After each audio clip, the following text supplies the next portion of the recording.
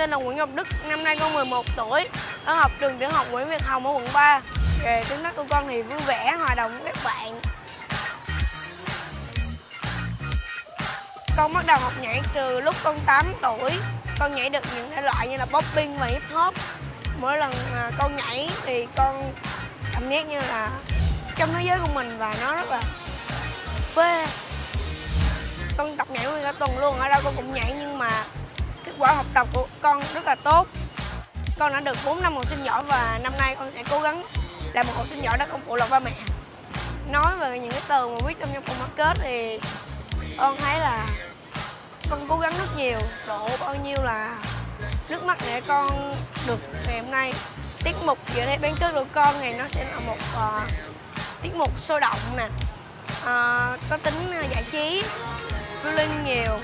Ngoài việc con muốn nhà mình chọn cho mình thì con muốn chinh phục giám khảo Trấn Thành và Huy Tuấn vì à, uh, thấy em cả đó rất là khó tính nhưng mà con muốn chinh phục.